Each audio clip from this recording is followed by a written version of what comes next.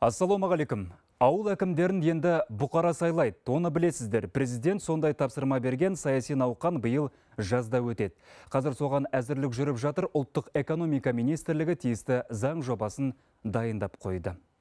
Оған кімдер қатыса алады, ауыл әкімдерін қанша жылға сайланады, бұл науқанды өткізуге бюджеттен қанша қаражат бөлінеді. Міне, осы сауалдарға жауап іздеп көрдік, бұл өзекті.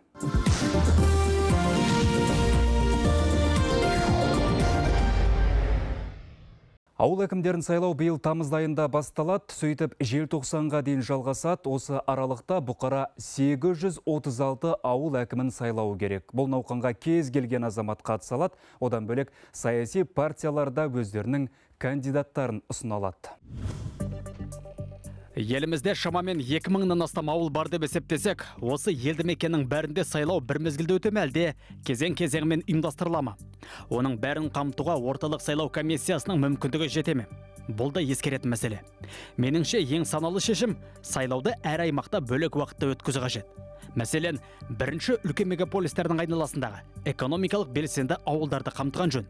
Содан кейін облыстық маңызы бар қалалар маңындағы елді мекендерде ұйымдастыру керек.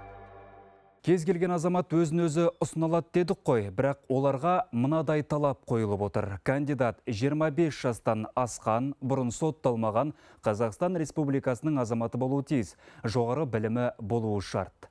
Сосын өзін өзі ұсынған азамат кемі бір жыл мемлекеттік қызметте яки екі жыл жеке кәсіпорында жетекшілік жұмыс істеуі тиіс, яғни ешбір жерде ресми жұмыс істемеген бірақ ауылының мәселесін жақсы білетін азаматтар сайлауға қатыса алмайды мамандар мұны осы бастан ескертіп отыр.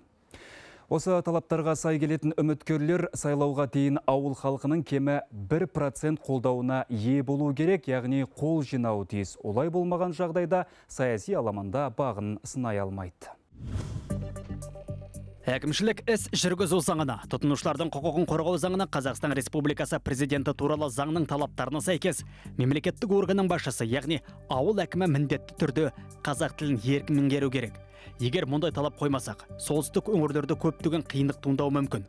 Мысалы, қазіргі таңда оңтүстік тұрғындарын солтүстікке көшіріп жатырмыз. Шетелдерден қандастарымыз оралып жатыр. Олар қазақ тілін ғана меңгерген. Яғни әкім мен тұрғындар арасында түсініспеушілік туындамауы тиіс. Ауыл әкімдерін сайлауға жергілікті бюджеттен ақша бөлінеді. Әзірге оның нақты сомасы айтылмады, шамасы орталық сайлау комиссиясы шығындарды әлі есептемесе керек. Ауыл әкімдерінің өкілеттік мерзімі өзгерген жоқ, олар бұрынғысынша 4 жылға сайланады. Ескерте кетейін, бұрын ауыл, елді мекен немесе аудан әкімдеріне кандидаттарды қала басшысы ұсынатын, сөйтіп жергілікті мәслихат депутаттары дауыс беріп сайлайтын. Бүгінгі айтарымыз осы, өзектіні қарай жүріңіздер